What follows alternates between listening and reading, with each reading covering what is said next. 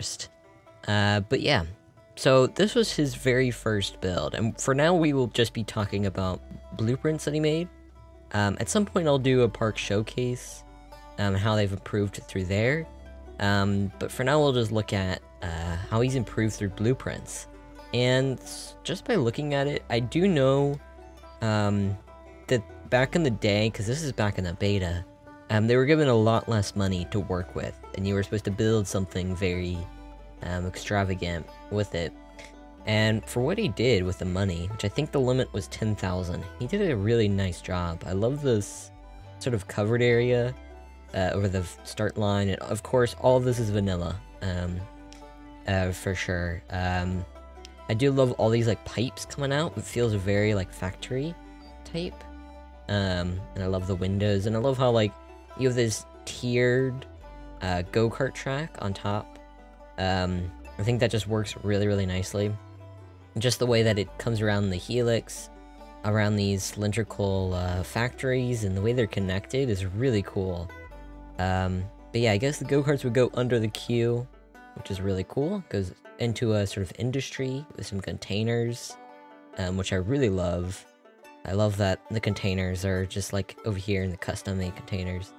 Um, go past like, I guess some trash, um, or some like, I guess, uh, I don't, I remember what those are called. Cont I guess just containers.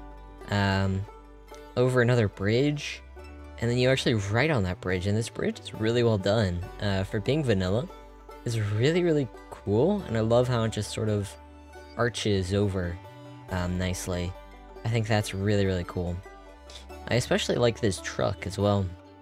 This vanilla truck is really beautiful, honestly. Um, it, it is funny that it is uh, cube wheels, but before we didn't have cylinder uh, cylinders uh, on their sides, so it makes sense that he had to use cubes, um, as that is your only option. So yeah, this is very... Oh, and I didn't realize. This is supposed to be like a container truck, or the container connected to the truck. Oh, that's really cool. It's a semi-truck. And so you drive through the container that the semi was connected to. I love that. That's really cool. Um, then you go over here into this sort of brick industry building. Come around this curve with some pretty cool, like, steampunky uh, arches with some cool effects.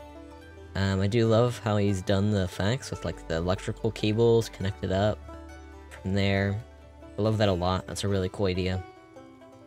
Again, the arches and the steampunk feel looks really nice.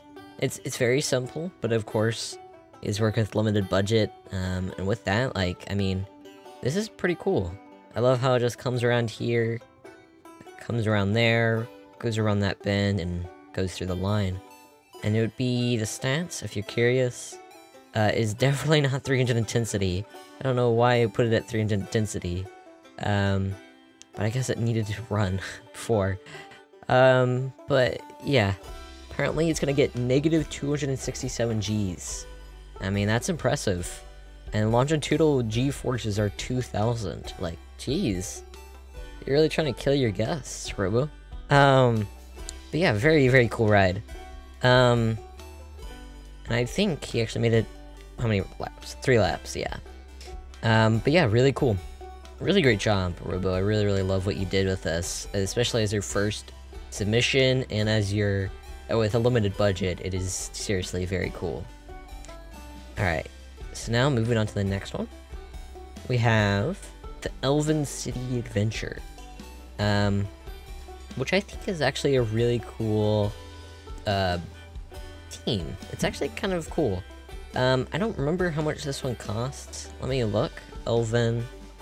It cost 8,000, so even less money this time. Um, but honestly, I like how it sort of got like this canal feel through here. Um, these sort of beautiful like arches, sort of holding it up, you know, a, someone else could put this in with some path underneath, make that a nice shop area, shopping area. Um, same over here. I actually kind of like how it's almost identical on both sides. Um, and I love this sort of idea of making the roof as water, since you can't put water uh, terrain in the blueprints. I think that's really cool as well. I also really like how over here, the trees and the colors are really nice. They give a very magical feel to it. Um, but yeah, there isn't a huge amount to say about this. It's pretty simple. Got some, you know, nice rock work. The colors are really well done. And I love how he actually did the terrain. Um, that's really clever. Um, especially without having, you know, terrain in the first place. It's really clever. Um, so yeah. Very, I would say very good job for being, again, vanilla in a limited budget. Um, and that's the Elven. City Adventure. Now here's where I think it starts coming up. Um, I think this is where you start turning it around. Um, and I think it actually starts coming out really cool. Actually, before we keep looking at that, I forgot to look at lighting. Um, let's take a look here. Alright, for this one there is no lighting, so I guess we will skip this one. For this one, still no lighting, so I guess we'll skip it. So I guess we'll keep going back over here. Um, yeah, okay, so they, he did some lighting here, which is kind of cool. Um, he's got some nice, like, area lighting spotlights coming up. This is sort of the first one that has lighting, um, which is quite nice. I love the, like, little uh, spotlights and the wall lights used there. But coming into daytime, um, you got a nice queue, nice covered queue, got some nice, like, sort of modern buildings. This is supposed to be called Ocean Drive. Um, so I guess very, like, Floridian, tropical theme.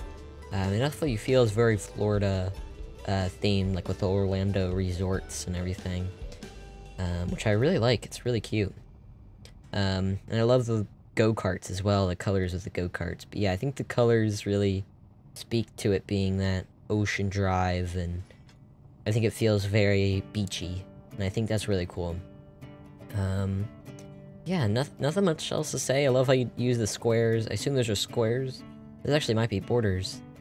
Yeah, they're borders, okay. Yeah, I love how you use that. Um, great use. And yeah. I think for, again, for a vanilla build, this is pretty good. Alright, for the next blueprint, I think this is where he steps it up. Um, I think it goes up like a ton, honestly. It It's crazy amount how much he turns this around for blueprints. Um, he went from, say, like this, um, to something that is super robo for being, again, vanilla. Um, and I love how he did these arches, the rainbow arches as the station.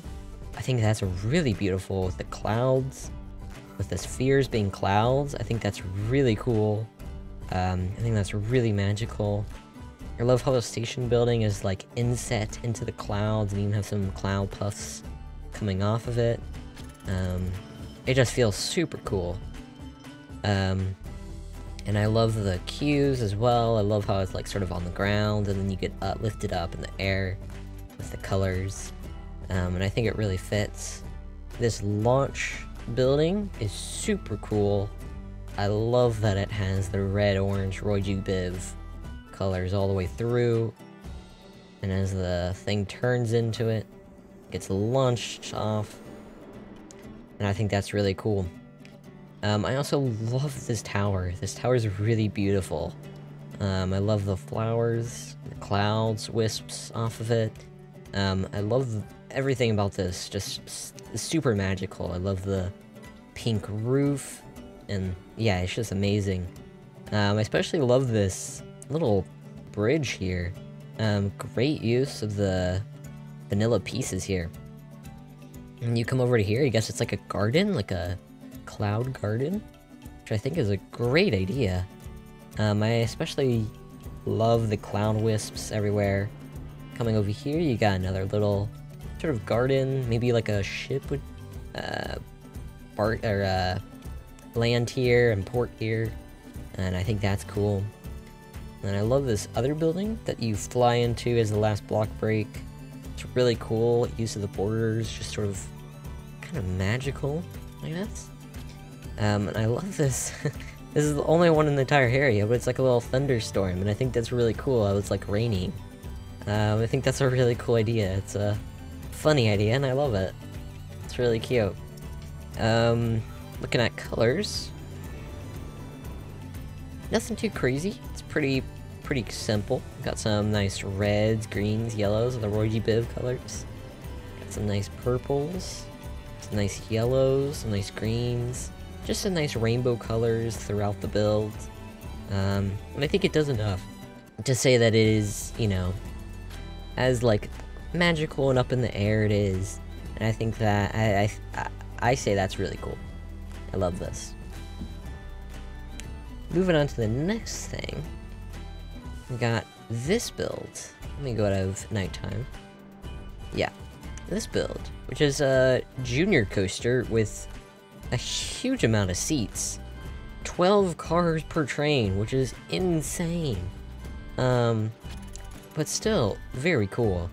I love the way the junior coaster comes over. It's, I assume it's supposed to be like an abandoned um, building build, and I love it. I really love the station. It's all falling apart.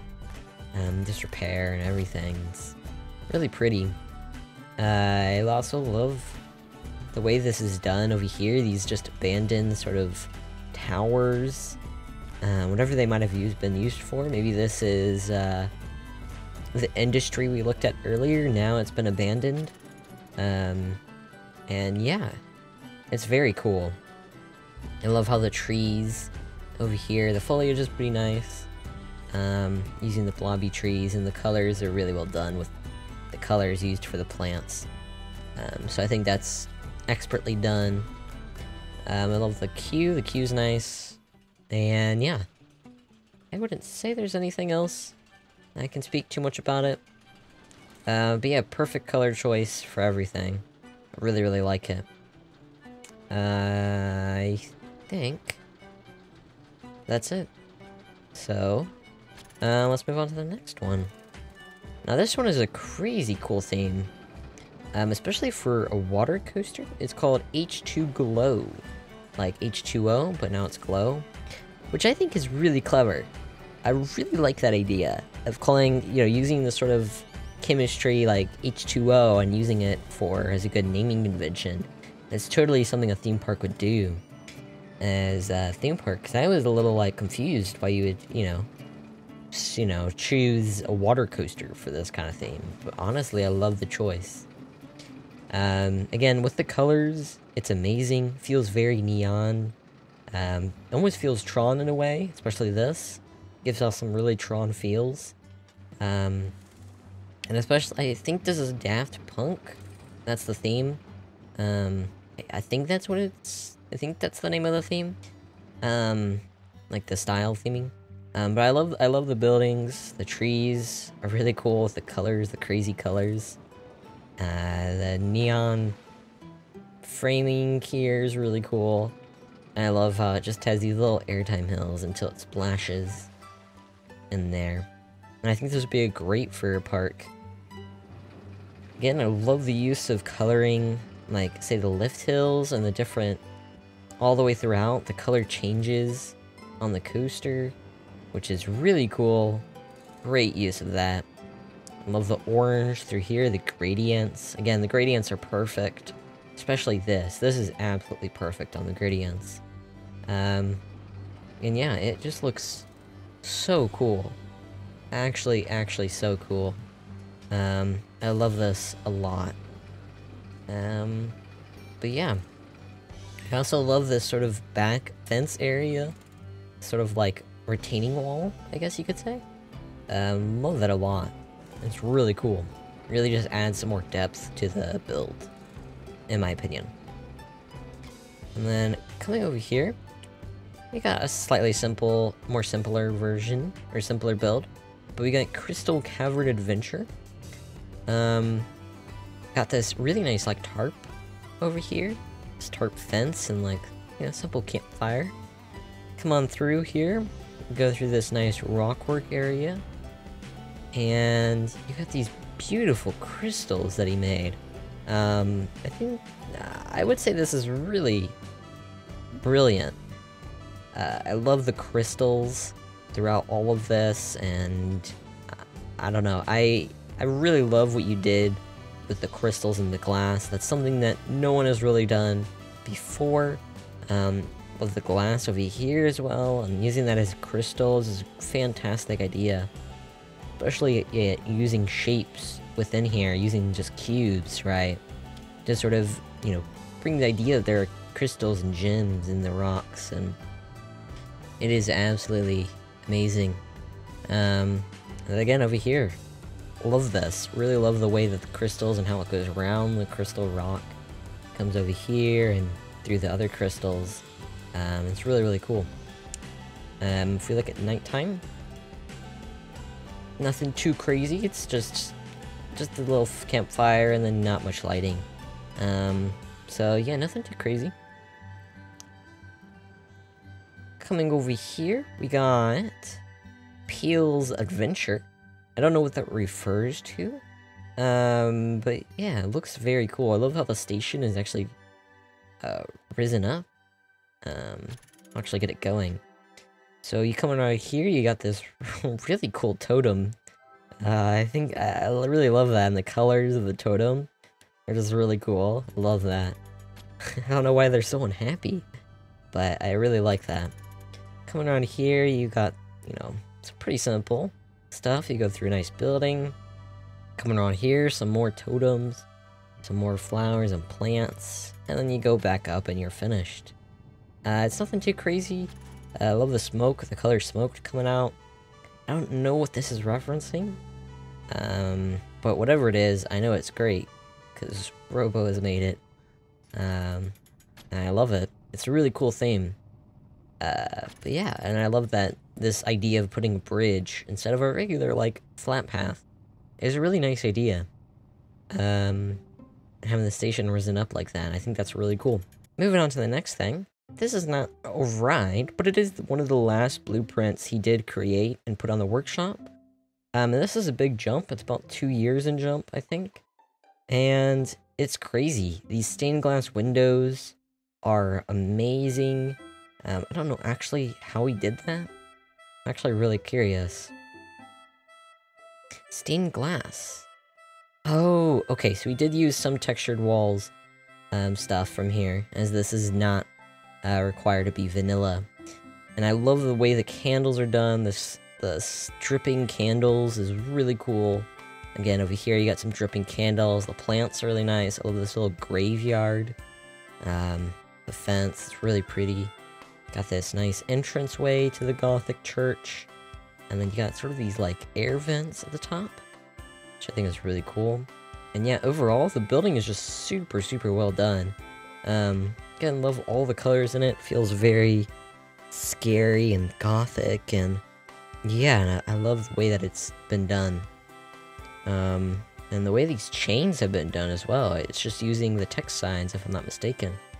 Yeah, it's just using text signs back and forth. Then, as the last three things he's ever blueprinted, it was this Gothic carriage, 1, 2, and 3, which go with the Gothic church, which I think is really cool. And this Gothic lamp, this bat lamp as he called it. And it really is a bat. That's actually really cool. I love that the how the bat is holding the lanterns, and I love how each of the carriages have their own sort of uh, style. I really love that. So yeah, you've come a long way, Robo. Really love the work that you've done. Um, fantastic job on all this. Um, if you'd like to check out all of his stuff, his workshop link will be down below, and you can check out and download all of these yourself. Um, but yeah, if you got a suggestion on who you would like me to, at what, whose workshop you'd like me to look at next, um, let me know, and I will take a look. Um, I think the next might be uh, Astrotron. I'd love to look at all of his stuff from when he started off, and then where he's come now. Um, but that is it. Thank you guys for watching. Really appreciate it, and hope you guys have a great rest of your day. Peace.